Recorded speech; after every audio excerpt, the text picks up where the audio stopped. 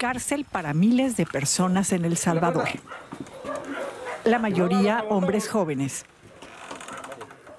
Desde que fuera impuesto el estado de excepción a fines de marzo pasado, la detención de unas 35 mil personas ha llevado a los centros penitenciarios de por sí sobrepoblados al borde del colapso y de un peligroso hacinamiento.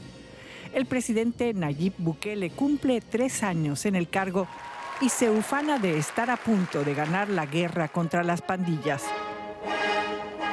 Organizaciones de derechos humanos, entre ellas Amnistía Internacional, advierten que el mandatario ha sumido al país en una crisis de derechos humanos. Ha documentado los abusos de autoridad, las detenciones arbitrarias, eh, las muertes violentas, la situación grave al interior de los centros penales, eh, la política de Estado de detenciones arbitrarias, de negación de información, de desprecio a los derechos humanos. El régimen de excepción que sigue vigente es la respuesta del Estado al auge de homicidios presuntamente cometidos por pandillas.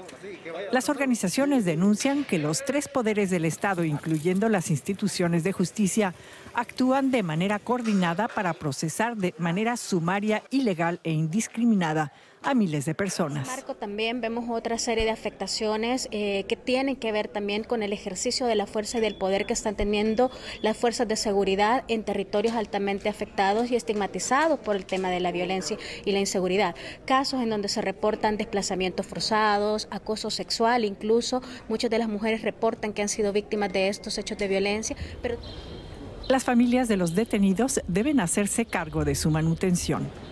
La política de mano dura de Bukele le ha cosechado un aumento en su popularidad, pero el país se encuentra al borde de la bancarrota por la especulación del mandatario con las criptomonedas. Los que pueden huyen del país en crisis.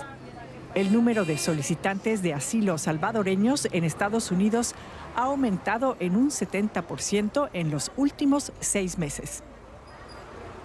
Desde que inició la implementación de este régimen de excepción se han detenido a 38 mil personas y en la mayoría de los casos se trata de detenciones arbitrarias que no cuentan con órdenes de aprehensión o situaciones en flagrancia, pero además Amnistía Internacional a través de la investigación que hemos hecho también hemos documentado casos de violaciones al debido proceso, eh, a la presunción de inocencia, a la defensa adecuada en procedimientos judiciales. Hemos, por ejemplo, verificado que las audiencias que se dan de estas personas detenidas que se presentan ante la autoridad judicial son audiencias sumarias de entre 300 y 500 personas con un par de defensores públicos que no conocen ni siquiera de los casos. Además, hemos recibido informes de tortura y malos tratos, sobre todo en la detención de menores de edad, de niños, niñas y adolescentes que han sido detenidas en el contexto del régimen de excepción y pues las 23 personas que se conoce que por lo menos han muerto bajo custodia de las autoridades sin que hayan dado ninguna explicación,